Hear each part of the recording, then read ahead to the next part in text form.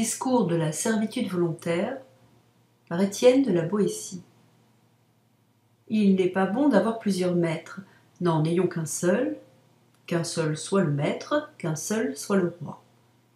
Voici ce que déclara Ulysse en public, selon Homère. S'il lui dit seulement il n'est pas bon d'avoir plusieurs maîtres, c'était suffisant. Mais au lieu d'en déduire que la domination de plusieurs ne peut être bonne, puisque la puissance d'un seul, dès qu'il prend ce titre de maître, est dure et déraisonnable, il ajoute au contraire N'ayons qu'un seul maître. Il faut peut-être excuser Ulysse d'avoir tenu ce langage, qui lui servait alors pour apaiser la révolte de l'armée. Je crois qu'il adaptait plutôt son discours aux circonstances qu'à la vérité. Mais à la réflexion, c'est un malheur extrême que d'être assujetti à un maître dont on ne peut jamais être assuré de la bonté et qui a toujours le pouvoir d'être méchant quand il le voudra. Quant à obéir à plusieurs maîtres, c'est être autant de fois extrêmement malheureux. Je ne veux pas débattre ici la question tant de fois agitée, à savoir si d'autres sortes de républiques sont meilleures que la monarchie. Si j'avais à la débattre, avant de chercher quel rang la monarchie doit occuper parmi les divers modes de gouverner la chose publique, je demanderais si l'on doit même lui en accorder aucun, car il est difficile de croire qu'il y ait rien de public dans ce gouvernement où tout est à un seul. Mais réservons pour un autre temps cette question qui mériterait bien d'un traité à part et qui provoquerait toutes les disputes politiques. Pour le moment, je voudrais seulement comprendre comment il se peut que tant d'hommes, tant de bouts, tant de villes, tant de nations supportent quelquefois un tyran seul, qui n'a de puissance que celle qu'il lui donne, qui n'a pouvoir de leur nuire qu'autant qu'ils veulent bien l'endurer, et qui ne pourrait leur faire aucun mal s'ils n'aimaient mieux tout souffrir de lui que de le contredire. Chose vraiment étonnante, et pourtant si commune, qu'il faut plutôt en gémir que s'en ébahir, de voir un million d'hommes misérablement asservis, la tête sous le joug, non qu'ils y soient contraints par une force majeure, mais parce qu'ils sont fascinés et pour ainsi dire ensorcelés par le seul nom d'un qu'ils ne devraient pas redouter puisqu'il est seul, ni aimer puisqu'il est envers eux tous inhumain et cruel. Telle est pourtant la faiblesse des hommes. Contraints à l'obéissance, obligés de temporiser, ils ne peuvent pas être toujours les plus forts. Si donc une nation, contrainte par la force des armes, est soumise au pouvoir d'un seul, comme la cité d'Athènes le fut à la domination des trente tyrans, il ne faut pas s'étonner qu'elle serve, mais bien le déplorer. Ou plutôt ne s'en étonner ni ne s'en plaindre, mais supporter le malheur avec patience et se réserver pour un avenir meilleur. Nous sommes ainsi faits que les devoirs communs de l'amitié absorbent une bonne part de notre vie. Il est raisonnable d'aimer la vertu, d'estimer les belles actions, d'être reconnaissant pour les bienfaits reçus et de réduire souvent notre propre bien-être pour accroître l'honneur et l'avantage de ceux que nous aimons et qui méritent d'être aimés. Si donc les habitants d'un pays trouvent parmi eux un de ces hommes rares qui leur ait donné des preuves d'une grande prévoyance pour les sauvegarder, d'une grande hardiesse pour les défendre, d'une grande prudence pour les gouverner, s'ils s'habituent à la longue à lui obéir et à se fier à lui jusqu'à lui accorder une certaine suprématie, je ne sais s'il serait sage de l'enlever de là où il faisait bien pour le placer là où il pourra faire mal. Il semble en effet naturel d'avoir de la bonté pour celui qui nous a procuré du bien de ne pas en craindre un mal. Mais, ô grand Dieu, qu'est donc cela? Comment appellerons-nous ce malheur? Quel est ce vice, ce vice horrible, de voir un nombre infini d'hommes non seulement obéir, mais servir, non pas être gouvernés, mais être tyrannisés, n'ayant ni bien, ni parents, ni enfants, ni leur vie même qui soit à eux? De les voir souffrir les rapines, les paillardises, les cruautés, non d'une armée, non d'un camp barbare contre lesquels chacun devrait défendre son sang et sa vie, mais d'un seul. non d'un Hercule ou d'un Samson, mais d'un homme laid, souvent le plus lâche, le plus efféminé de la nation, qui n'a jamais flairé la poudre des batailles, ni guère foulé le sable des tournois, qui n'est pas seulement inapte à commander aux hommes, mais encore à satisfaire la moindre femmelette. Nommerons-nous cela lâcheté Appellerons-nous vils et couards ces hommes soumis? Si deux, si trois, si quatre, sept à un seul, c'est étrange, mais toutefois possible. On pourrait peut-être dire avec raison, c'est faute de cœur. Mais si cent, si mille souffrent l'oppression d'un seul, dira-t-on encore qu'ils n'osent pas s'en prendre à lui, ou qu'ils ne le veulent pas, et que ce n'est pas couardise, mais plutôt méprise ou dédain? Enfin, si l'on voit non pas cent, non pas mille hommes, mais cent pays, mille villes, un million d'hommes ne pas assaillir celui qui les traite tous comme autant de serfs et d'esclaves, comment qualifierons-nous cela? Est-ce lâcheté? Mais tous les vices ont des bornes qu'ils ne peuvent pas dépasser. Deux hommes, et même dix, peuvent bien en craindre un. Mais que mille, un million, mille villes ne se défendent pas contre un seul homme, cela n'est pas couardise, elle ne va pas jusque-là, de même que la vaillance n'exige pas qu'un seul homme escalade une forteresse, attaque une armée, conquiert un royaume. Quel vice monstrueux est donc celui-ci, qui ne mérite pas même le titre de couardise, qui ne trouve pas de nom assez laid, que la nature désavoue et que la langue refuse de nommer. Qu'on mette face à face cinquante mille hommes en armes, qu'on les range en bataille, qu'ils en viennent aux mains. Les uns, libres, combattent pour leur liberté, les autres combattent pour la leur ravir. Auxquels promettrez-vous la victoire? Lesquels iront le plus courageusement au combat? Ceux qui espèrent pour récompense le maintien de leur liberté? Ou ceux qui n'attendent pour salaire des coups qu'ils donnent et qu'ils reçoivent que la servitude d'autrui? Les uns ont toujours devant les yeux le bonheur de leur vie passée et l'attente d'un bien-être égal pour l'avenir. Ils pensent moins à ce qu'ils endurent le temps d'une bataille qu'à ce qu'ils endureraient, vaincus, eux, leurs enfants et toute leur postérité. Les autres n'ont pour aiguillon qu'une petite pointe de convoitise qui s'émousse soudain contre le danger et dont l'ardeur s'éteint dans le sang de leur première blessure.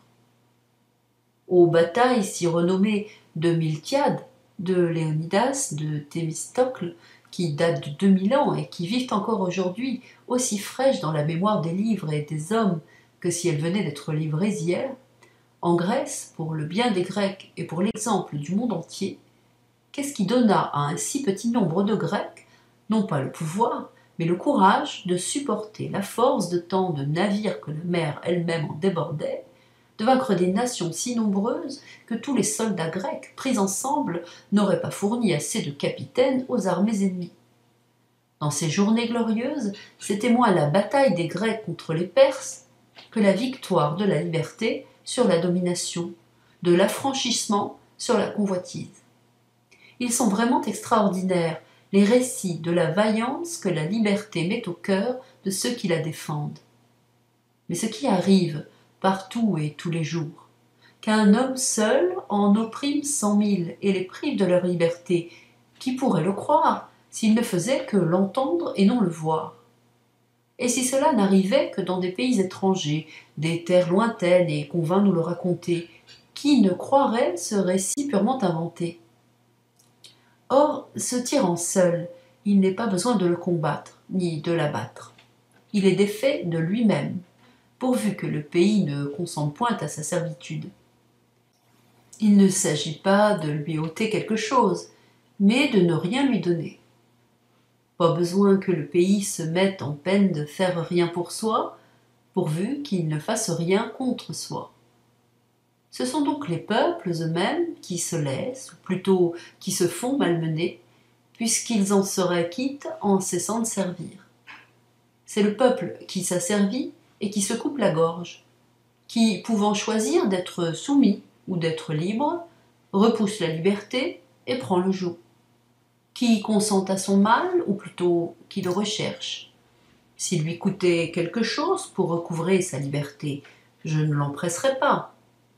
même si ce qu'il doit avoir le plus à cœur est de rentrer dans ses droits naturels et pour ainsi dire de bête redevenir homme. Mais je n'attends même pas de lui une si grande hardiesse. J'admets qu'il aime mieux je ne sais quelle assurance de vivre misérablement qu'un espoir douteux de vivre comme il l'entend. Mais quoi?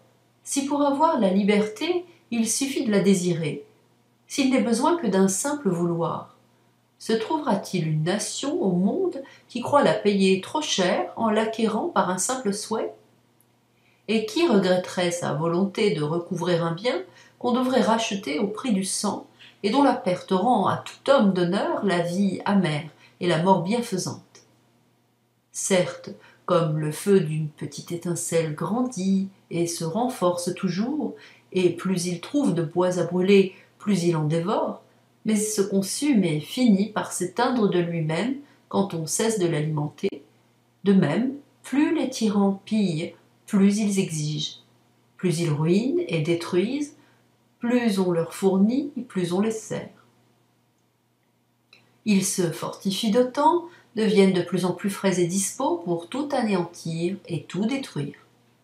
Mais si on ne leur fournit rien, si on ne leur obéit pas, sans les combattre, sans les frapper, ils restent nus et défaits et ne sont plus rien, de même que la branche, n'ayant plus de suc ni d'aliment à sa racine, devient sèche et morte. Pour acquérir le bien qu'il souhaite, l'homme hardi ne redoute aucun danger, l'homme avisé n'est rebuté par aucune peine. Seuls les lâches et les engourdis ne savent ni endurer le mal, ni recouvrer le bien qu'ils se bornent à convoiter l'énergie d'y prétendre leur est ravie par leur propre lâcheté. Il ne leur reste que le désir naturel de le posséder. Ce désir, cette volonté commune aux sages et aux imprudents, aux courageux et aux couards, leur fait souhaiter toutes les choses dont la possession les rendrait heureux et contents. Il en est une seule que les hommes, je ne sais pourquoi, n'ont pas la force de désirer. C'est la liberté, bien si grand et si doux. Dès qu'elle est perdue, tous les maux s'ensuivent, et sans elle, tous les autres biens, corrompus par la servitude, perdent entièrement leur goût et leur saveur. La liberté, les hommes la dédaignent uniquement, semble-t-il, parce que s'ils la désiraient, ils l'auraient. Comme s'ils refusaient de faire cette précieuse acquisition parce qu'elle est trop aisée. Pauvres gens misérables, peuples insensés, nations opiniâtres à votre mal et aveugles à votre bien. Vous vous laissez enlever sous vos yeux le plus beau et le plus clair de votre revenu, vous laissez piller vos champs, voler et dépouiller vos maisons des vieux meubles de vos ancêtres. Vous vivez de telle sorte que rien n'est plus à vous. Il semble que vous regarderiez désormais comme un grand bonheur qu'on vous laissât seulement la moitié de vos biens, de vos familles, de vos vies. Et tous ces dégâts, ces malheurs, cette ruine ne vous viennent pas des ennemis, mais certes bien de l'ennemi, de celui-là même que vous avez fait ce qu'il est, de celui pour qui vous allez si courageusement à la guerre, et pour la grandeur duquel vous ne refusez pas de vous offrir vous-même à la mort. Ce maître n'a pourtant que deux yeux, deux mains, un corps, et rien de plus que n'a le dernier des habitants du nombre infini de nos villes. Ce qu'il a de plus, ce sont les moyens que vous lui fournissez pour vous détruire. D'où tire-t-il tous ces yeux qui vous épillent, si ce n'est de vous? Comment a-t-il tant de mains pour vous frapper s'il ne vous les emprunte? Les pieds dont il foule vos cités ne sont-ils pas aussi les vôtres? A-t-il pouvoir sur vous qui ne soit de vous-même? Comment oserait-il vous assaillir s'il n'était d'intelligence avec vous? Quel mal pourrait-il vous faire si vous n'étiez les receleurs du larron qui vous pille, les complices du meurtrier qui vous tue et les traîtres de vous-même Vous semez vos champs pour qu'il les dévaste. Vous meublez et remplissez vos maisons pour fournir ses pilleries. Vous élevez vos filles afin qu'ils puissent assouvir sa luxure. Vous nourrissez vos enfants pour qu'ils en fassent des soldats dans le meilleur des cas, pour qu'ils les mènent à la guerre, à la boucherie, pour qu'il les rende ministres de ses convoitises et exécuteurs de ses vengeances.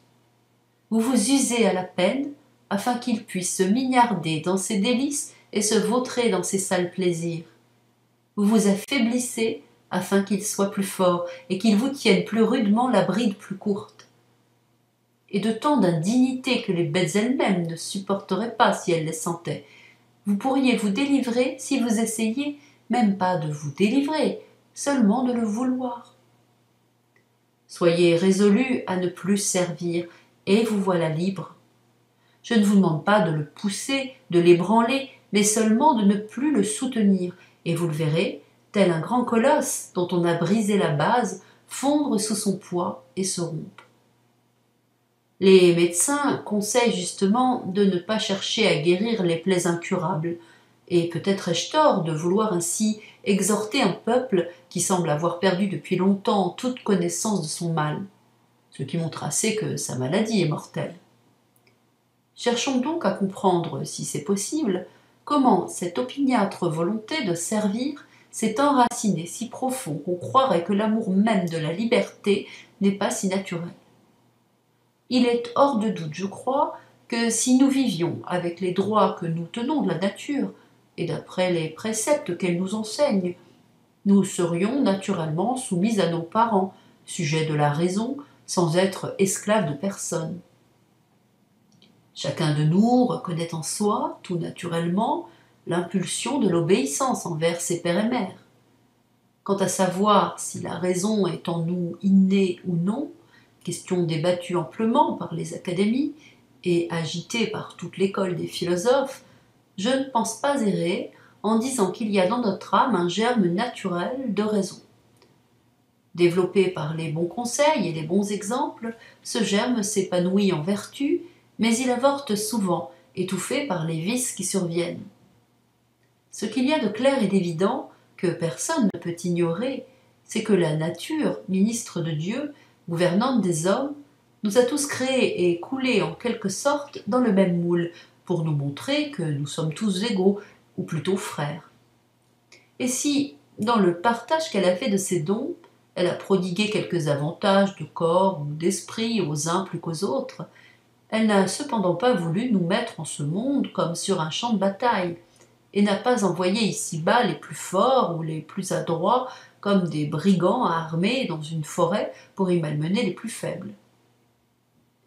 Croyons plutôt qu'en faisant ainsi des parts plus grandes aux uns, plus petites aux autres, elle a voulu faire naître en eux l'affection fraternelle et les mettre à même de la pratiquer, puisque les uns ont la puissance de porter secours, tandis que les autres ont besoin de recevoir. Donc, puisque cette bonne mère nous a donné à tous toute la terre pour demeure, puisqu'elle nous a tous logés dans la même maison, nous a tous formés sur le même modèle, afin que chacun puisse regarder et quasiment se reconnaître dans l'autre comme dans un miroir, puisqu'elle nous a fait à tous ce beau présent de la voix et de la parole pour mieux nous rencontrer et fraterniser, et pour produire, par la communication et l'échange de nos pensées, la communion de nos volontés, puisqu'elle a cherché par tous les moyens à faire et à resserrer le nœud de notre alliance, de notre société, puisqu'elle a montré en toutes choses qu'elle ne nous voulait pas seulement unis, mais tel un seul être. Comment douter alors que nous ne soyons pas naturellement libres, puisque nous sommes tous égaux? Il ne peut entrer dans l'esprit de personne que la nature ait mis quiconque en servitude, puisqu'elle nous a tous mis en compagnie. À vrai dire, il est bien inutile de se demander si la liberté est naturelle, puisqu'on ne peut tenir aucun être en servitude sans lui faire tort. Il n'y a rien au monde de plus contraire à la nature, tout raisonnable, que l'injustice. La liberté est donc naturelle. C'est pourquoi, à mon avis, nous ne sommes pas seulement nés avec elle, mais aussi avec la passion de la défendre. Et s'il s'en trouve par hasard qui en doutent encore, abâtardis au point de ne pas reconnaître leurs dons ni leur passion native, il faut que je leur fasse l'honneur qu'ils méritent et que je hisse, pour ainsi dire, les bêtes brutes en chair, pour leur enseigner leur nature et leurs conditions. Les bêtes, Dieu me soit en aide, si les hommes veulent bien les entendre, leur crient Vive la liberté Plusieurs d'entre elles meurent aussitôt prises, tel le poisson qui perd la vie sitôt tiré de l'eau, elles se laissent mourir pour ne point survivre à leur liberté naturelle. Si les animaux avaient entre eux des prééminences, ils feraient de cette liberté leur noblesse. D'autres bêtes, des plus grandes aux plus petites, lorsqu'on les prend, résistent si fort des ongles, des cornes, du bec et du pied, qu'elles démontrent assez quel prix elles accordent à ce qu'elles perdent. Une fois prises, elles nous donnent tant de signes flagrants de la connaissance de leur malheur, qu'il est beau de les voir alors languir plutôt que vivre, et gémir sur leur bonheur perdu, plutôt que de se plaire en servitude. Que veut dire d'autre l'éléphant lorsque, s'étant défendu jusqu'au bout, sans plus d'espoir, sur le point d'être pris, il enfonce ses mâchoires et casse ses dents contre les arbres, sinon que son grand désir de demeurer libre lui donne de l'esprit et l'avise de marchander avec les chasseurs. À voir s'il pourra s'acquitter par le prix de ses dents et si son ivoire, laissé pour rançon, rachètera sa liberté. Nous flattons le cheval dès sa naissance pour l'habituer à servir.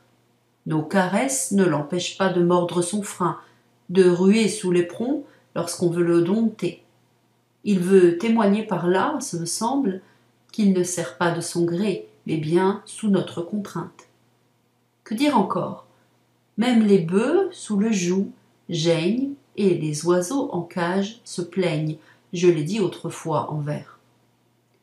Ainsi donc, puisque tout être pourvu de sentiments sent le malheur de la suggestion et court après la liberté, puisque les bêtes, même faites au service de l'homme, ne peuvent s'y soumettre qu'après avoir protesté d'un désir contraire, quelle malchance a pu dénaturer l'homme, seul vraiment né pour vivre libre, au point de lui faire perdre la souvenance de son premier état et le désir de le reprendre. Il y a trois sortes de tyrans. Les uns règnent par l'élection du peuple, les autres par la force des armes, les derniers par succession de races. Ceux qui ont acquis le pouvoir par le droit de la guerre s'y comportent, on le sait et le dit fort justement, comme en pays conquis. Ceux qui naissent rois, en général, ne sont guère meilleurs. Nés et nourris au sein de la tyrannie, ils sucent avec le lait le naturel du tyran, et ils regardent les peuples qui leur sont soumis comme leurs serfs héréditaires. Selon leur penchant dominant, avare ou prodigue, ils usent du royaume comme de leur héritage. Quant à celui qui tient son pouvoir du peuple, il semble qu'il devrait être plus supportable. Il le serait, je crois, si dès qu'il se voit élevé au-dessus de tous les autres, flatté par je ne sais quoi qu'on appelle grandeur, il décidait de n'en plus bouger. Il considère presque toujours la puissance que le peuple lui a léguée comme devant être transmise à ses enfants.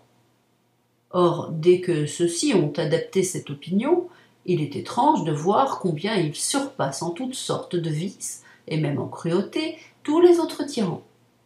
Ils ne trouvent pas meilleur moyen pour assurer leur nouvelle tyrannie que de renforcer la servitude et d'écarter si bien les idées de liberté de l'esprit de leurs sujets que pour récent qu'en soit le souvenir, ils s'effacent bientôt de leur mémoire. Pour dire vrai, je vois bien entre ces tyrans quelques différences, mais de choix, je n'en vois pas. Car s'ils arrivent au trône par des moyens divers, leur manière de règne est toujours à peu près la même. Ceux qui sont élus par le peuple le traitent comme un taureau à dompter, les conquérants comme leur proie, les successeurs comme un troupeau d'esclaves qui leur appartient par nature. Je poserai cette question. Si par hasard il naissait aujourd'hui quelques gens tout neufs, ni accoutumés à la suggestion, ni à friander à la liberté, ignorant jusqu'au nom de l'une et de l'autre, et qu'on leur proposât d'être sujets ou de vivre libres, quel serait leur choix? Sans aucun doute, ils préféreraient de beaucoup obéir à la seule raison que de servir un homme, à moins qu'ils ne soient comme ces gens d'Israël, qui, sans besoin ni contrainte, se donnèrent un tyran. Je ne lis jamais leur histoire sans en éprouver un dépit extrême qui me porterait presque à être inhumain, jusqu'à me réjouir de tous les maux qui leur advinrent. Car pour que les hommes tant qu'ils sont des hommes, se laissent assujettir, il faut de deux choses l'une, ou qu'ils y soient contraints, ou qu'ils soient trompés. Contraints par les armes étrangères, comme le furent Sparte et Athènes, par celles d'Alexandre, ou trompés par les factions, comme le fut le gouvernement d'Athènes, tombé auparavant aux mains de Pisistrate. Ils perdent souvent leur liberté en étant trompés, mais sont moins souvent séduits par autrui qu'ils ne se trompent eux-mêmes. Ainsi, le peuple de Syracuse, capitale de la Sicile, pressé par les guerres, ne songeant qu'au danger du moment, élut Denis Ier et lui donna le commandement de l'armée. Il ne prit garde qu'il l'avait fait aussi puissant que lorsque ce malin, entrant victorieux comme s'il eût vaincu ses concitoyens plutôt que ses ennemis, se fit d'abord capitaine, puis roi, et de roi tyran. Il est incroyable de voir comme le peuple, dès qu'il est assujetti, tombe soudain dans un si profond oubli de sa liberté qu'il lui est impossible de se réveiller pour la reconquérir. Il sert si bien et si volontiers qu'on dirait à le voir qu'il n'a pas seulement perdu sa liberté, mais bien gagné sa servitude. Il est vrai qu'au commencement, on sert contraint et vaincu par la force. Mais les successeurs servent sans regret et font volontiers ce que leurs devanciers avaient fait par contrainte. Les hommes nés sous le joug, puis nourris et élevés dans la servitude, sans regarder plus avant, se contentent de vivre comme ils sont nés, et ne pensent point avoir d'autres biens ni d'autres droits que ceux qu'ils ont trouvés. Ils prennent pour leur état de nature l'état de leur naissance. Toutefois, il n'est pas l'héritier, même prodigue ou nonchalant, qui ne porte un jour les yeux sur les registres de son père pour voir s'il jouit de tous les droits de sa succession et si l'on n'a rien entrepris contre lui ou contre son prédécesseur. Mais l'habitude, qui exerce en toute chose un si grand pouvoir sur nous, a surtout celui de nous apprendre à servir. Et comme on le raconte de Mithridate, qui finit par s'habituer au poison, celui de nous apprendre à avaler le venin de la servitude sans le trouver amer. Nul doute que la nature nous dirige là où elle veut, bien ou mal lotie, mais il faut avouer qu'elle a moins de pouvoir sur nous que l'habitude. Si bon que soit le naturel, il se perd s'il n'est entretenu, et l'habitude nous forme toujours à sa manière, en dépit de la nature. Les semences de bien que la nature met en nous sont si menues, si frêles, qu'elles ne peuvent résister au moindre choc d'une habitude contraire. Elles s'entretiennent moins facilement qu'elles ne s'abattardissent, et même dégénèrent, tels ces arbres fruitiers qui conservent les caractères de leur espèce tant qu'on les laisse venir, mais qui les perdent pour porter des fruits différents des leurs selon la manière dont on les greffe. Les herbes aussi ont chacune leur propriété, leur naturel, leur singularité. Pourtant, la durée, les intempéries, le sol ou la main du jardinier augmentent ou diminuent de beaucoup leur vertu. La plante qu'on a vue dans un pays n'est souvent plus reconnaissable dans un autre. Celui qui verrait les Vénitiens, une poignée de gens vivant si librement que le plus misérable d'entre eux ne voudrait pas être roi, nés et élevés de façon qu'ils ne connaissent d'autre ambition que celle d'entretenir pour le mieux leur liberté, éduqués et formés dès le berceau de telle sorte qu'ils n'échangeraient pas un brin de leur liberté pour toutes les autres félicités de la terre, celui, dis-je, qui verrait ces personnes-là, et qui s'en irait ensuite sur le domaine de quelque grand seigneur, y trouvant des gens qui ne sont nés que pour le servir et qui abandonnent leur propre vie maintenir sa puissance, penserait-il que ces deux peuples sont de même nature? Ou ne croirait-il pas plutôt qu'en sortant d'une cité d'hommes, il est entré dans un parc de bêtes? On raconte que Lycurgue, le législateur de Sparte, avait nourri deux chiens, tous deux frères, tous deux allaités au même lait. L'un était engraissé à la cuisine, l'autre habitué à courir les champs au son de la trompe et du cornet. Voulant montrer aux lacédémoniens que les hommes sont tels que la culture les a faits, il exposa les deux chiens sur la place publique et mit entre eux une soupe et un lièvre. L'un courut au plat, l'autre au lièvre. Et pourtant, dit-il, ils sont frères. Celui-là, avec ses lois et son art politique, éduqua et forma si bien les lacédémoniens que chacun d'eux préférait souffrir mille morts plutôt que de se soumettre à un autre maître que la loi et la raison. Je prends plaisir à rappeler ici une anecdote concernant l'un des favoris de Xerxès, grand roi de Perse et de Spartiate. Lorsque Xerxès faisait ses préparatifs de guerre pour conquérir la Grèce entière, il envoya ses ambassadeurs dans plusieurs villes de ce pays pour demander de l'eau et de la terre. C'était la manière qu'avaient les Perses de sommer les villes de se rendre. Il se garda bien d'en envoyer à Sparte, ni à Athènes, parce que les Spartiates et les Athéniens, auxquels son père Darius en avait envoyé auparavant, les avaient jetés, les uns dans les fossés, les autres dans les puits, en leur disant Allez-y, prenez là de l'eau et de la terre, et portez-les à votre prince. Ces gens ne pouvaient souffrir que, même par la moindre parole, on attentât à leur liberté. Les Spartiates reconnurent qu'en agissant de la sorte, ils avaient offensé les dieux, et surtout Taltibi, le dieu des héros. Ils résolurent donc, pour les apaiser, d'envoyer à Xerxès deux de leurs concitoyens, afin que, disposant d'eux à son gré, il pût se venger sur eux du meurtre des ambassadeurs de son père. Deux Spartiates, l'un nommé Spertiès et l'autre Bulis, s'offrirent comme victimes volontaires.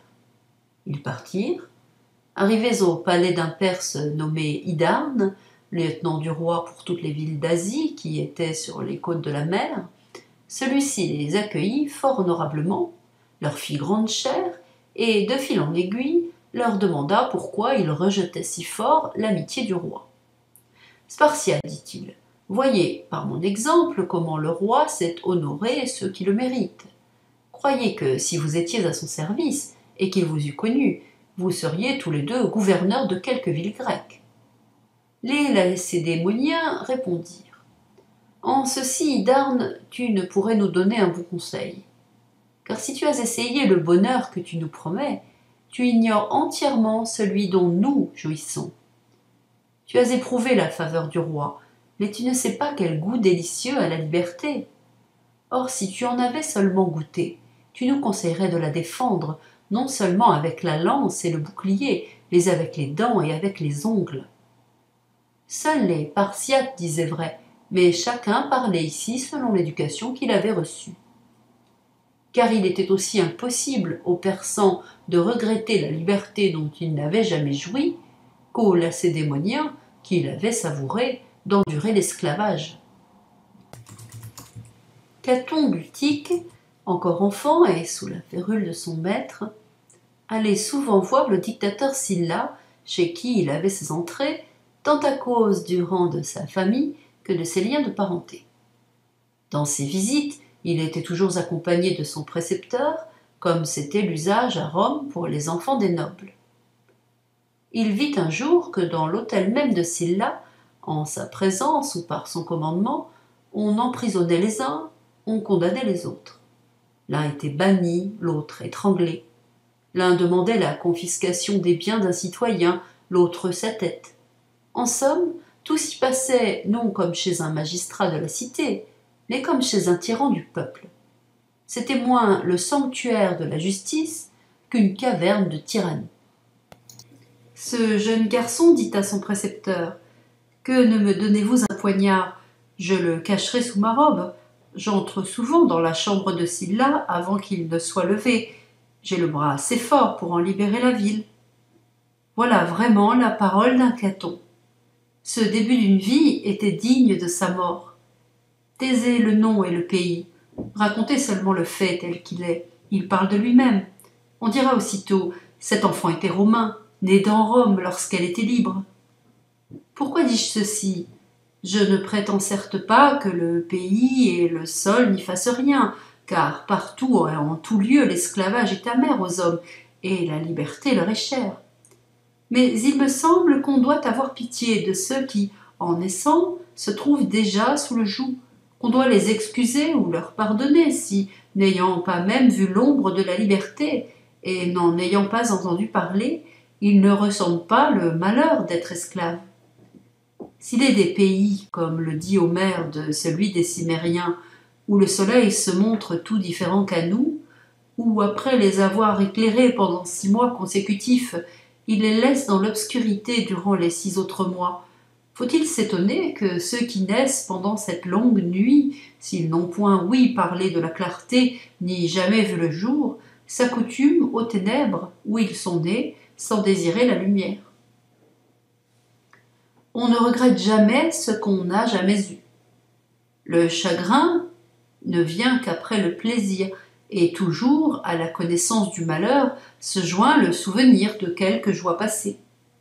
La nature de l'homme est d'être libre et de vouloir l'être, mais il prend facilement un autre pli lorsque l'éducation le lui donne.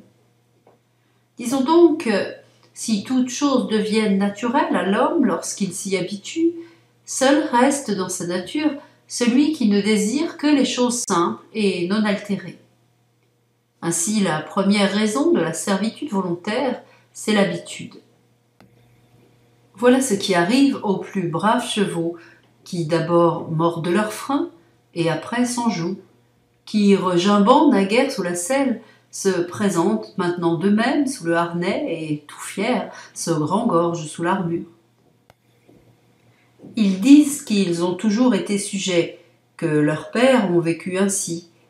Ils pensent qu'ils sont tenus d'endurer le mal, s'en persuadent par des exemples et consolident eux-mêmes, par la durée, la possession de ceux qui les tyrannisent. Mais en vérité, les années ne donnent jamais le droit de mal faire. Elles accroissent l'injure.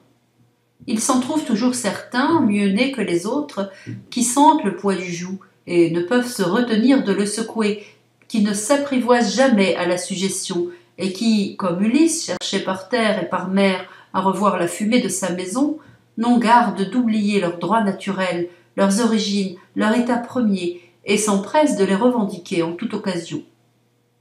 Ceux-là, ayant l'entendement net et l'esprit clairvoyant, ne se contentent pas, comme les ignorants, de voir ce qui est à leurs pieds, sans regarder ni derrière ni devant. Ils se remémorent les choses passées pour juger le présent et prévoir l'avenir. Ce sont eux qui, ayant d'eux-mêmes la tête bien faite, l'ont encore affinée par l'étude et le savoir. Ceux-là, quand la liberté serait entièrement perdue et bannie de ce monde, l'imaginent et la sentent en leur esprit et la savourent. Et la servitude les dégoûte, pour si bien qu'on l'accoutre. Le grand Turc s'est bien aperçu que les livres et la pensée donnent plus que toute autre chose aux hommes le sentiment de leur dignité et la haine de la tyrannie.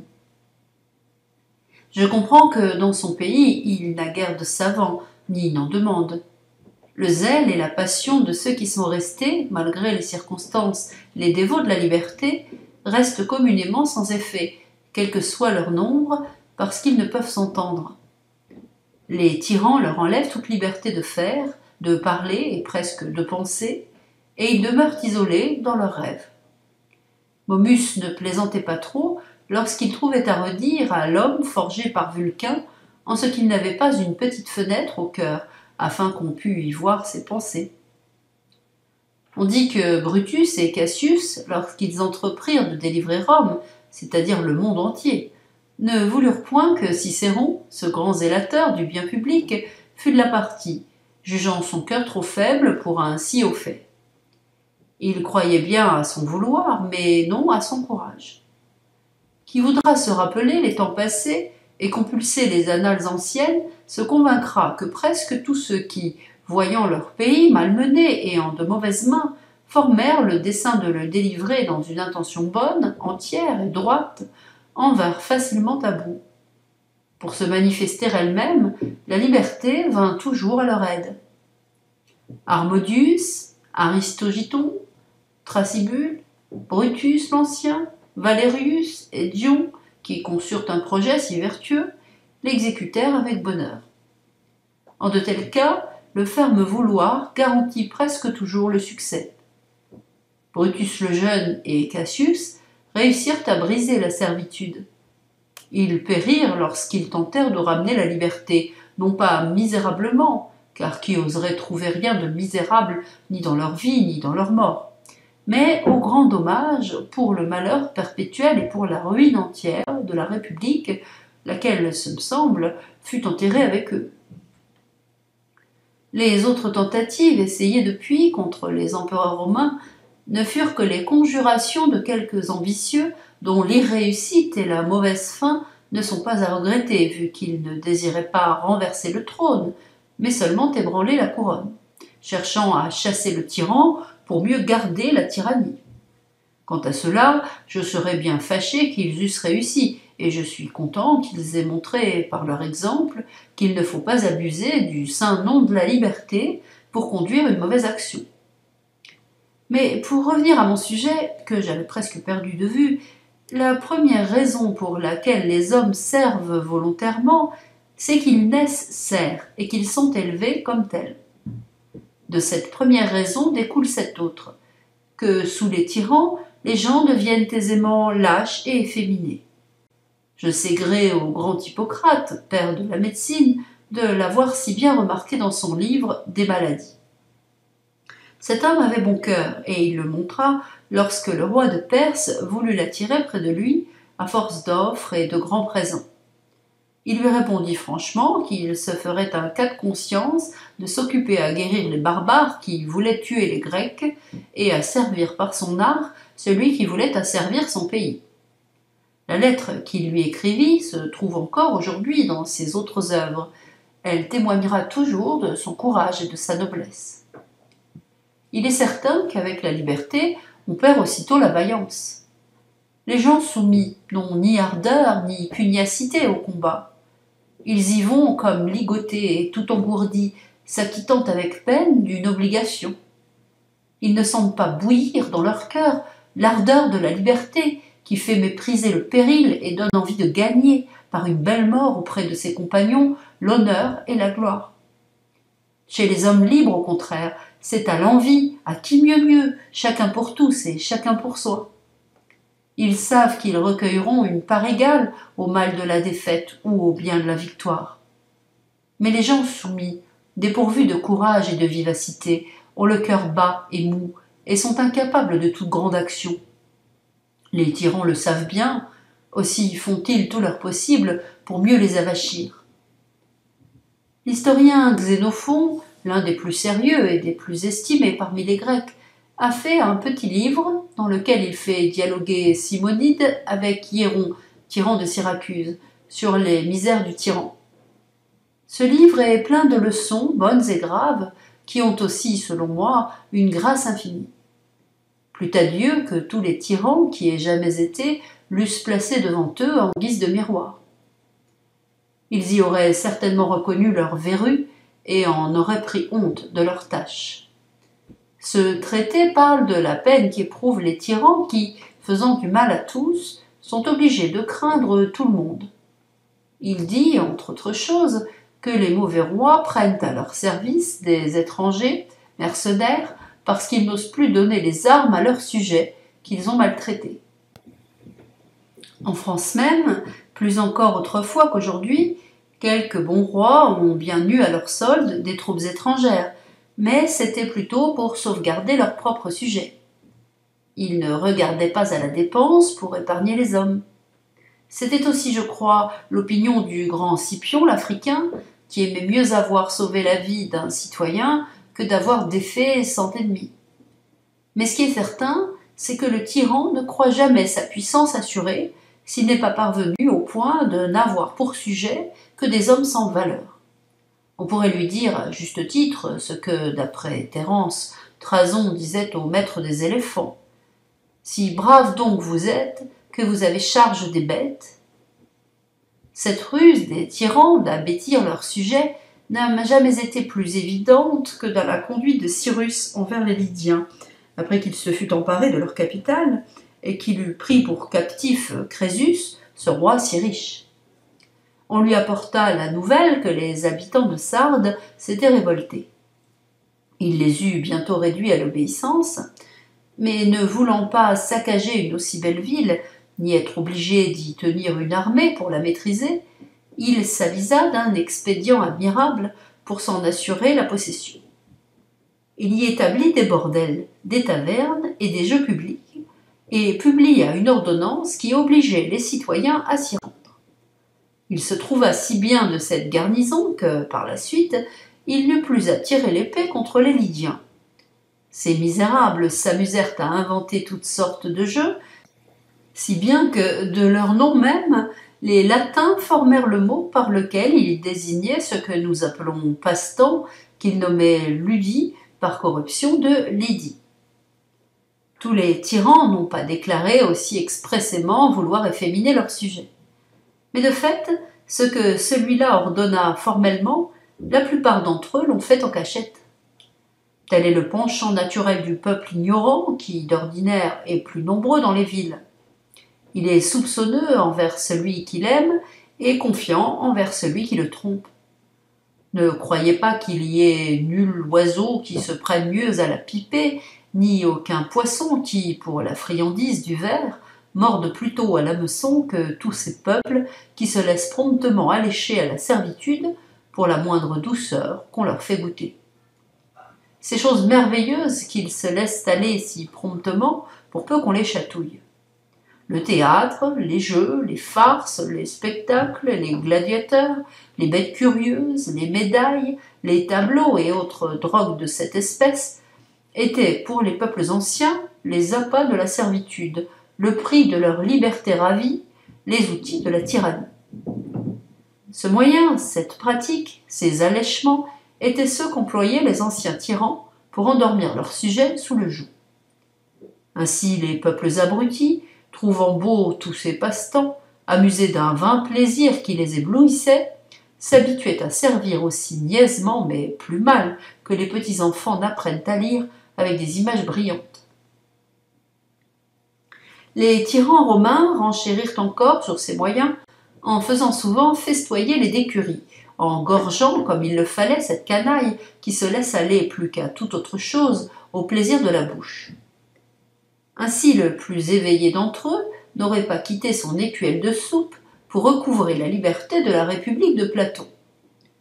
Les tyrans faisaient largesse du quart de blé, du septier de vin, du sesterce, et c'était pitié alors d'entendre crier Vive le roi Ces lourdeaux ne s'avisaient pas qu'ils ne faisaient que recouvrer une part de leurs biens, et que cette part même qu'ils en recouvraient, le tyran n'aurait pu la leur donner si, auparavant, il ne la leur avait enlevée. Tels ramassaient aujourd'hui les sesterces, tels se gorgeaient au festin public en bénissant Tibère et Néron de leur libéralité, qui le lendemain, contraint d'abandonner ses biens à l'avidité, ses enfants à la luxure, son sang même à la cruauté de ses empereurs magnifiques, ne disait mot, pas plus qu'une pierre, et ne se remuait pas plus qu'une souche. Le peuple ignorant a toujours été ainsi. Au plaisir qu'il ne peut honnêtement recevoir, il est tout dispos et dissolu. Au tort et à la douleur qu'il peut honnêtement souffrir, il est insensible. Je ne vois personne aujourd'hui qui, entendant parler de Néron, ne tremble au seul nom de ce vilain monstre, de cette sale peste du monde. Il faut pourtant dire qu'après la mort, aussi dégoûtante que sa vie, de ce bouteleux, de ce bourreau, de cette bête sauvage. Ce fameux peuple romain en éprouva tant de déplaisir, se rappelant ses jeux et ses festins, qu'il fut sur le point d'emporter le deuil. C'est du moins ce qu'en écrit Tacite, excellent auteur, historien des plus fiables. Et l'on ne trouvera pas cela étrange si l'on considère ce que ce même peuple avait déjà fait à la mort de Jules César, qui avait donné congé aux lois et à la liberté romaine. On louait surtout, ce me semble, dans ce personnage, son humanité. Or elle fut plus funeste à son pays que la plus grande cruauté du plus sauvage tyran qui ait jamais vécu, car à la vérité, ce fut cette venimeuse douceur qui en miela pour le peuple romain le breuvage de la servitude. Après sa mort, ce peuple-là, qui avait encore à la bouche le goût de ses banquets et à l'esprit la mémoire de ses prodigalités, amoncela les bancs de la place publique pour lui en faire un grand bûcher d'honneur. Puis il lui éleva une colonne, comme au père du peuple, le chapiteau portait cette inscription Enfin, il fit plus d'honneur à ce mort qu'il n'aurait dû en faire à un vivant, et d'abord à ceux qui l'avaient tué. Les empereurs romains n'oubliaient surtout pas de prendre le titre de tribun du peuple, parce que cet office était tenu pour saint et sacré. Établi pour la défense et la protection du peuple, il jouissait d'une haute faveur dans l'État. Il s'assurait par ce moyen que le peuple se fierait mieux à eux, comme s'il lui suffisait d'entendre ce nom sans avoir besoin d'en sentir les effets. Mais ils ne le font guère mieux ceux d'aujourd'hui qui, avant de commettre leurs crimes les plus graves, les font toujours précéder de quelques jolis discours sur le bien public et le soulagement des malheureux. On connaît la formule dont ils font si finement usage, mais peut-on parler de finesse là où il y a tant d'impudence?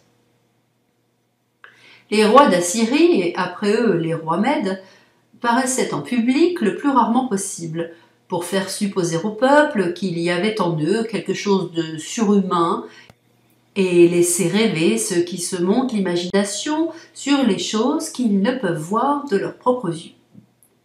Ainsi, tant de nations qui furent longtemps sous l'empire de ces rois mystérieux s'habituèrent à les servir, et les servir d'autant plus volontiers qu'ils ignoraient qui était leur maître, ou même s'ils en avaient un de telle sorte qu'ils vivaient dans la crainte d'un être que personne n'avait jamais vu.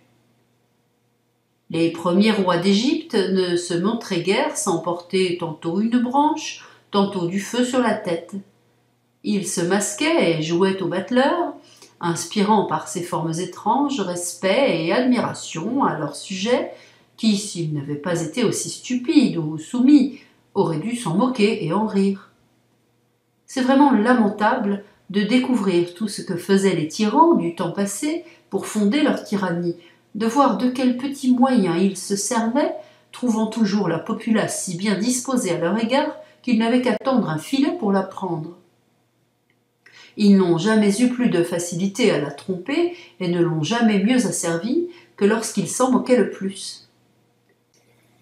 Que dirais-je d'une autre sornette que les peuples anciens prirent pour argent comptant? Ils crurent fermement que l'orteil de Pyrrhus, roi d'Épire, faisait des miracles et guérissait les malades de la rate. Ils enjolivèrent encore ce conte en disant que lorsqu'on eut brûlé le cadavre de ce roi, l'orteil se retrouva dans les cendres épargné du feu, intact. Le peuple a toujours ainsi fabriqué lui-même le mensonge pour y ajouter ensuite une foi stupide. Bon nombre d'auteurs ont rapporté ces mensonges. On voit aisément qu'ils les ont ramassés dans les ragots des villes et les fables des ignorants. Telles sont les merveilles que fit Vespasien, revenant d'Assyrie et passant par Alexandrie pour aller à Rome s'emparer de l'Empire. Il redressait les boiteux, rendait clairvoyants les aveugles, et mille autres choses qui ne pouvaient être crues, à mon avis, que par de plus aveugles que ceux qu'il guérissait. Les tyrans eux-mêmes trouvaient étrange que les hommes souffrissent qu'un autre les maltraitât. C'est pourquoi ils se couvraient volontiers du manteau de la religion et s'affublaient autant que faire se peut des oripeaux de la divinité pour cautionner leur méchante vie. Ainsi Salmonée, pour s'être moqué du peuple en faisant son Jupiter, se trouve maintenant au fin fond de l'enfer, selon la Sibylle de Virgile qu'il y a vu. Là, des fils d'Aloïs gisent les corps énormes, ceux qui, fendant les airs de leur tête difforme, osèrent attenter aux demeures des dieux et du trône éternel chasser le roi des cieux. Là, j'ai vu de ces dieux le rival sacrilège, qui du foudre, usurpant le divin privilège, pour arracher au peuple un criminel en sang, de quatre fiers coursiers aux pieds retentissants, attelant un vain char dans les lides tremblantes, une torche à la main, y semait l'épouvante. Insensé qui, du ciel prétendu souverain, par le bruit de son char et de son pont d'airain, du tonnerre imitait le bruit inimitable. Mais Jupiter lança le foudre véritable et renversa, couvert d'un tourbillon de feu, le char et les coursiers et la foudre et le dieu. Son triomphe fut court, sa peine est éternelle. Si celui qui voulut simplement faire l'idiot se trouve là-bas si bien traité, je pense que ceux qui ont abusé de la religion pour mal faire s'y trouveront encore à meilleure enseigne.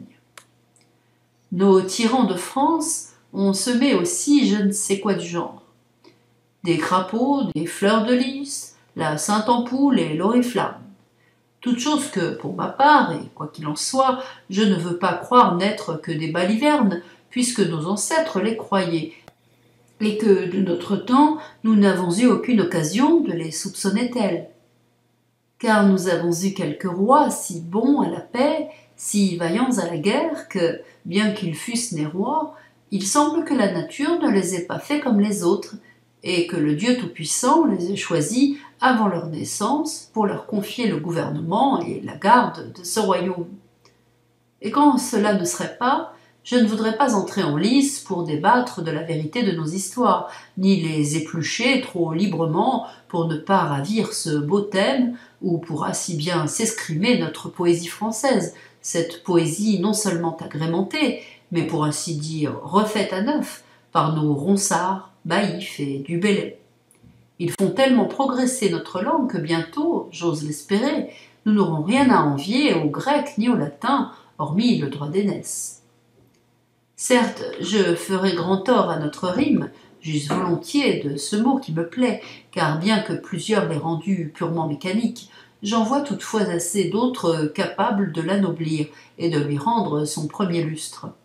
Je lui ferai, dis-je, grand tort, en lui ravissant ces jolis contes du roi Clavis, dans lesquels s'éguera si plaisamment, si aisément, la verve de notre ronsard, dans sa franciade. Je saisis sa portée, je connais son esprit fin et je sais la grâce de l'homme. Il fera son affaire de l'oriflamme, aussi bien que les Romains le faisaient de leurs ancilles et de ces boucliers du ciel en bas jetés, dont parle Virgile.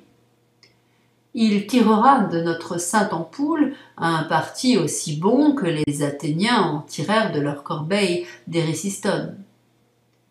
Il parlera de nos armoiries aussi bien que de leur olivier, qu'ils prétendent exister encore dans la tour de Minerve. Certes, je serais téméraire de vouloir démentir nos livres et de courir ainsi sur les terres de nos poètes. Mais pour revenir à mon sujet, dont je me suis éloigné je ne sais trop comment, n'est-il pas clair que les tyrans, pour s'affermir, se sont efforcés d'habituer le peuple non seulement à l'obéissance et à la servitude, mais encore à leur dévotion? Tout ce que j'ai dit jusqu'ici des moyens employés par les tyrans pour asservir n'est exercé que sur le petit peuple ignorant. J'en arrive maintenant à un point qui est, selon moi, le ressort et le secret de la domination, le soutien et le fondement de toute tyrannie. Celui qui penserait que les halbardes, les gardes et le guet garantissent les tyrans se tromperait fort. Ils s'en servent, je crois, par forme et pour épouvantail, plus qu'il ne s'y fit. Les archers barrent l'entrée des palais aux malhabiles, qui n'ont aucun moyen de nuire, non aux audacieux bien armés. On voit aisément que, parmi les empereurs romains, moins nombreux sont ceux qui échappèrent au danger grâce au secours de leurs archers qu'il n'y en eut de tués par ces archers mêmes. Ce ne sont pas les bandes de gens à cheval, les compagnies de fantassins, ce ne sont pas les armes qui défendent un tyran, mais toujours, on aura peine à le croire d'abord, quoique ce soit l'exacte vérité, quatre ou cinq hommes qui le soutiennent et qui lui soumettent tout le pays. Il en a toujours été ainsi. Cinq ou six ont eu l'oreille du tyran et s'en sont approchés d'eux-mêmes, ou bien ils ont été appelés par lui pour être les complices de ses cruautés, les compagnons de ses plaisirs, les macros de ses voluptés et les bénéficiaires de ses rapines. Ces six dressent si bien leur chef qu'il en devient méchant envers la société, non seulement de sa propre méchanceté, mais encore des leurs. Ces six en ont sous eux six cents, qu'ils corrompent autant qu'ils ont corrompu le tyran. Ces six cents en tiennent sous leur dépendance six mille, qu'ils élèvent en dignité. Ils leur font donner le gouvernement des provinces ou le maniement des deniers afin de les tenir par leur avidité ou par leur cruauté, afin qu'ils les exercent à point nommé et fassent d'ailleurs tant de mal qu'ils ne puissent se maintenir que sous leur ombre, qu'ils ne puissent s'exenter des lois et des peines que grâce à leur protection. Grande est la série de ceux qui les suivent. Et qui voudra en dévider le fil verra que non pas six mille, mais cent mille et des millions tiennent au tyran par cette chaîne ininterrompue qui les soude et les attache à lui, comme Homère le fait dire à Jupiter qui se targue en tirant une telle chaîne, d'amener à lui tous les dieux. De là venait l'accroissement du pouvoir du Sénat sous Jules César, l'établissement de nouvelles fonctions, l'institution de nouveaux offices, non certes pour réorganiser la justice, mais pour donner de nouveaux soutiens à la tyrannie. En somme, par les gains et les faveurs qu'on reçoit des tyrans, on en arrive à ce point qu'ils se trouvent presque aussi nombreux, ceux auxquels la tyrannie profite, que ceux auxquels la liberté plairait. Au dire des médecins, bien que rien ne paraisse changer dans notre corps, dès que quelques tumeurs se manifestent en un seul endroit, toutes les humeurs se portent vers cette partie véreuse. De même, dès qu'un roi s'est déclaré tyran, tout le mauvais, toute la lie du royaume, je ne dis pas un tas de petits friponneaux et de faquins qui ne peuvent faire ni mal ni bien dans un pays, mais ceux qui sont possédés d'une ambition ardente et d'une avidité notable se groupent autour de lui et le soutiennent pour avoir part au butin et pour être, sous le grand tyran, autant de petits tyrannos. Tels sont les grands voleurs et les fameux corsaires. Les uns courent le pays, les autres pourchassent les voyageurs, les uns sont en embuscade, les autres au guet, les uns massacrent, les autres dépouillent, et bien qu'il y ait entre eux des prééminences, que les uns ne soient que des valets et les autres des chefs de bande, à la fin, il n'y en a pas un qui ne profite, sinon du butin principal, du moins de ses restes. On dit que les pirates ciliciens se rassemblèrent en un si grand nombre qu'il fallut envoyer contre eux le grand Pompée, et qu'ils attirèrent à leur alliance plusieurs belles et grandes villes, dans les havres desquelles, en revenant de leur course, ils se mettaient en sûreté, leur donnant en échange une part des pillages qu'elles avaient. C'est ainsi que le tyran asservit les sujets les uns par les autres. Il est gardé par ceux dont il devrait se garder, s'il valait quelque chose. Mais on l'a fort bien dit, pour fendre le bois, on se fait des coins du bois même.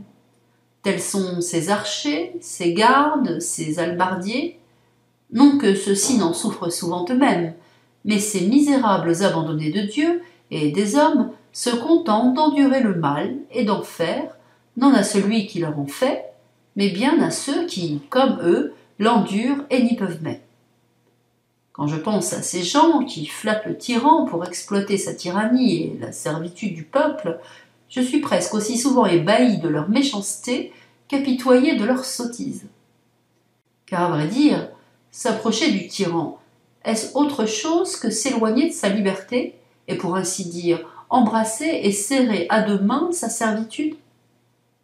Qu'ils mettent un moment à part leur ambition, qu'ils se dégagent un peu de leur avidité, et puis qu'ils se regardent, qu'ils se considèrent eux-mêmes.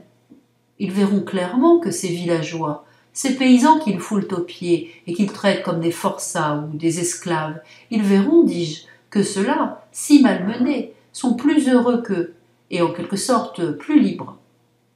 Le laboureur et l'artisan, pour asservi qu'il soit, en sont quittes en obéissant. Mais le tyran voit ceux qui l'entourent coquinant et mendiant sa faveur. Il ne faut pas seulement qu'il fasse ce qu'il ordonne, mais aussi qu'il pense ce qu'il veut, et souvent même, pour le satisfaire, qu'il prévienne ses propres désirs. Ce n'est pas le tout de lui obéir, il faut encore lui complaire.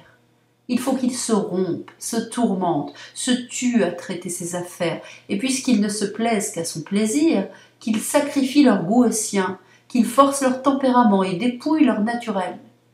Il faut qu'il soit attentif à ses paroles, à sa voix, à ses regards, à ses gestes. Que leurs yeux, leurs pieds, leurs mains soient continuellement occupés à épier ses volontés et à deviner ses pensées. Est-ce là vivre heureux? Est-ce même vivre? Est-il rien au monde de plus insupportable que cet état? Je ne dis pas pour tout homme de cœur, mais encore pour celui qui n'a que le simple bon sens, ou même figure d'homme. quelle condition est plus misérable que celle de vivre ainsi, n'ayant rien à soi, et tenant d'un autre son aise, sa liberté, son corps et sa vie. Mais ils veulent servir pour amasser des biens. Comme s'ils pouvaient rien gagner qui fût à eux, puisqu'ils ne peuvent même pas dire qu'ils sont à eux-mêmes. Et comme si quelqu'un pouvait avoir quelque chose à soi sous un tyran. Ils veulent se rendre possesseurs de biens, oubliant que ce sont eux qui lui donnent la force de ravir tout à tous, et de ne rien laisser qu'on puisse dire être à sa personne. Il voit pourtant que ce sont les biens qui rendent les hommes dépendants de sa cruauté, qu'il n'y a aucun crime plus digne de mort, selon lui, que l'avantage d'autrui, qu'il n'aime que les richesses et ne s'attaque aux riches. Ceux-là viennent cependant se présenter à lui comme des moutons devant le boucher, pleins et bien repus comme pour lui faire envie. Ses favoris devraient moins se souvenir de ceux qui ont gagné beaucoup auprès des tyrans que de ceux qui, s'étant gorgés quelque temps, y ont perdu peu après les biens et la vie. Ils devraient moins songer au grand nombre de ceux qui y ont acquis des richesses qu'au petit nombre de ceux qui les ont conservées. Qu'on parcourt toutes les histoires anciennes et qu'on rappelle toutes celles dont nous nous souvenons, on verra combien nombreux sont ceux qui, arrivés par de mauvais moyens jusqu'à l'oreille des princes, soit en flattant leur mauvais penchant, soit en abusant de leur naïveté, ont fini par être écrasés par ces mêmes princes qui avaient mis autant de facilité à les élever que d'inconstance à les défendre. Parmi le grand nombre de ceux qui se sont trouvés auprès des mauvais rois, il en est peu ou presque pas qui n'aient éprouvé eux-mêmes la cruauté du tyran, qu'ils avaient auparavant attisé contre d'autres. Souvent enrichis à l'ombre de sa faveur des dépouilles d'autrui, ils l'ont à la fin enrichi eux-mêmes de leurs propres dépouilles. Et même les gens de bien, il arrive parfois que le tyran les aime. Si avancés qu'ils soient dans sa bonne grâce, si brillante que soit en eux la vertu et l'intégrité, qui, même aux méchants, inspirent quelque respect lorsqu'on les voit de près, ces gens de bien, dis-je, ne sauraient se maintenir auprès du tyran. Il faut qu'ils se ressentent aussi du mal commun et qu'ils éprouvent la tyrannie à leurs dépens. Tel un Sénèque, un Burrus, un Traséas, cette trinité de gens de bien, dont les deux premiers eurent le malheur de s'approcher d'un tyran qui leur confia le maniement de ses affaires, tous deux chéris de lui, et bien que l'un d'eux l'eût élevé, ayant pour gage de son amitié les soins qu'il avait donnés à son enfance. Ces trois-là, dont la mort fut si cruelle, n'en sont-ils pas des exemples suffisants du peu de confiance que l'on doit avoir dans la faveur d'un méchant maître? En vérité, quelle amitié attendre de celui qui a le cœur assez dur pour haïr tout un royaume qui ne fait que lui obéir, et d'un être qui, ne sachant aimer, s'appauvrit lui-même et détruit son propre empire. Or, si l'on veut que Sénèque, Burrus et Traséas n'ont éprouvé ce malheur que pour avoir été trop gens de bien, qu'on cherche attentivement autour de Néron lui-même. On verra que tous ceux qui furent en grâce auprès de lui, et qui s'y maintinrent par leur méchanceté, n'eurent pas une fin meilleure. Qui a jamais entendu parler d'un amour aussi effréné, d'une affection aussi opiniâtre, qui a jamais vu d'homme aussi obstinément attaché à une femme que celui-là le fut à Popée Or il l'empoisonna lui-même. Sa mère, Agrippine, pour le placer sur le trône, avait tué son propre mari, Claude. Elle avait tout entrepris et tout souffert pour le favoriser. Et cependant, son fils, son nourrisson, celui-là qu'elle avait fait empereur de sa propre main, lui ôta la vie après l'avoir souvent maltraité. Personne ne nia qu'elle n'eût bien mérité cette punition si elle avait été infligée par n'importe qui d'autre. Qui fut jamais plus facile à manier, plus simple, et pour mieux dire plus niais, que l'empereur Claude Qui fut jamais plus coiffé d'une femme que lui de Messaline Il la livra pourtant au bourreau. Les tyrans bêtes restent bêtes, au point de ne jamais savoir faire le bien, mais je ne sais comment, à la fin, le peu qu'ils ont d'esprit se réveille en eux pour user de cruauté même envers leurs proches. On connaît assez le mot de celui-là qui, voyant découverte la gorge de sa femme, de celle qu'il aimait le plus, sans laquelle il semblait qu'il ne pût vivre, lui adressa ce joli compliment. Ce beaucoup sera coupé tout à l'heure si je l'ordonne. Voilà pourquoi la plupart des anciens tyrans ont presque tous été tués par leurs favoris. Connaissant la nature de la tyrannie, ceux-ci n'étaient guère rassurés sur la volonté du tyran et se défiaient de sa puissance.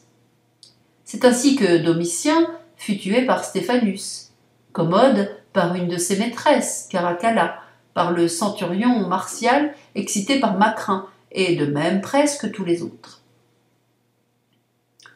Certainement le tyran n'aime jamais et n'est jamais aimé. L'amitié est un nom sacré, une chose sainte. Elle n'existe qu'entre gens de bien. Elle naît d'une mutuelle estime et s'entretient moins par les bienfaits que par l'honnêteté. Ce qui rend un ami sûr de l'autre, c'est la connaissance de son intégrité. Il en a pour garant son bon naturel, sa fidélité, sa constance. Il ne peut y avoir d'amitié là où se trouve la cruauté, la déloyauté, l'injustice. Entre méchants, lorsqu'ils s'assemblent, c'est un complot et non une société. Ils ne s'aiment pas, mais se craignent. Ils ne sont pas amis, mais complices. Quand bien même cela ne serait pas, il serait difficile de trouver chez un tyran un amour sûr, parce qu'étant au-dessus de tous et n'ayant pas de père, il est déjà au-delà des bornes de l'amitié. Celle-ci fleurit dans l'égalité, dont la marche est toujours égale et ne peut jamais clocher. Voilà pourquoi il y a bien, comme on le dit, une espèce de bonne foi parmi les voleurs lors du partage du butin, parce qu'alors ils y sont tous pères et compagnons. S'ils ne s'aiment pas, du moins se craignent-ils? Ils ne veulent pas amoindrir leur force en se désunissant. Mais les favoris d'un tyran ne peuvent jamais compter sur lui, parce qu'ils lui ont eux-mêmes appris qu'il peut tout, qu'aucun droit ni devoir ne l'oblige, qu'il est habitué à n'avoir pour raison que sa volonté, qu'il n'a pas d'égal et qu'il est le maître de tous. N'est-il pas déplorable que, malgré tant d'exemples éclatants, sachant le danger si présent, personne ne veuille tirer leçon des misères d'autrui, et que tant de gens s'approchent encore si volontiers des tyrans. Qu'il ne s'en trouve pas un pour avoir la prudence et le courage de leur dire, comme le renard de la fable au lion qui faisait le malade, J'irais volontiers te rendre visite dans ta tanière, mais je vois assez de traces de bêtes qui y entrent, quant à celles qui en sortent, je n'en vois aucune. Ces misérables voient reluire les trésors du tyran. Ils admirent, tout ébahis, les éclats de sa magnificence.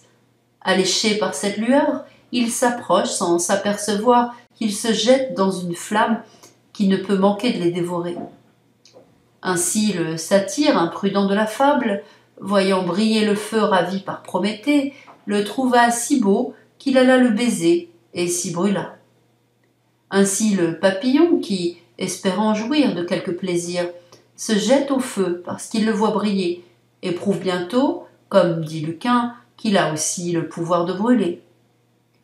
Mais supposons encore que ces mignons échappent aux mains de celui qu'ils servent. Ils ne se sauvent jamais de celles du roi qui lui succède.